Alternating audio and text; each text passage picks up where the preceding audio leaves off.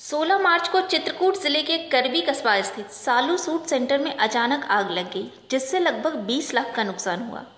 आग कैसे लगी, इसका पता अब तक नहीं लग पाया है। आग लगी मम्मी इलाहाबाद से आई। है तो रिसीव गए हैं। दुकान में कोई था नहीं शॉर्टेज से। यहाँ तुरंत ताला तोड़ा ताला पानी लाया और भी आस पास के लोगों ने की सारा ही जल चुका है। गोदाम का पूरा माल ही जल चुका है। कुछ नहीं रह गया था। अरे जो है, हुआ। आस पास वाले लोगों ने है आस पास वाले लोगों ने दिया है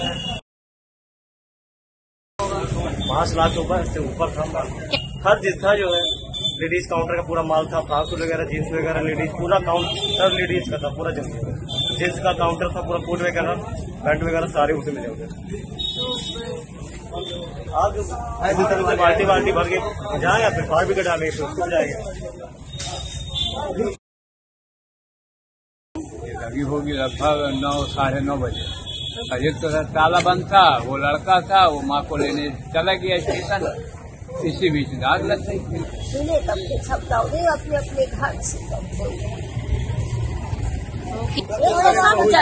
भीतर जाऊँ बचाऊ थोड़ी बहुत हाँ, अंदर जाऊँ और मार पूरे ग्राम तहसीलदार गुलाब सिंह का कहना है कि दैविक आपदा के तहत सिर्फ़ घरेलू नुकसान का ही मुआवजा मिलता है।